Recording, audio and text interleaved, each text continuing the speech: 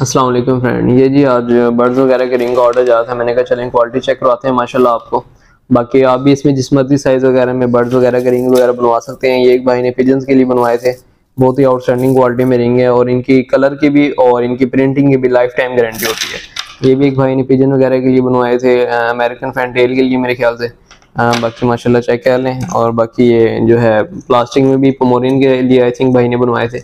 बाकी इसमें आप हर कलर में, हर साइज़ में रिंग वगैरह ऑर्डर कर सकते हैं। विद इन सेवन डेज़ आपको होम डिलीवरी मिल जाएगी। ठीक है जी, माशाल्लाह, ये आठ एम के कुछ रिंग थे एक भाई के और बाकी ये बारह एम के। ठीक है जी, माशाल्लाह। और ये मेटल में आपको हर कलर मिल जाएगा। ये भी मेटल में है ब्लैक में प्लास्टिक में नहीं है। बाकी प्लास्टिक में जाएँगे, उसमें भी मैनुफेक्चरिंग हो जाती है। बाकी ये चेक कर लें माशाला लेदर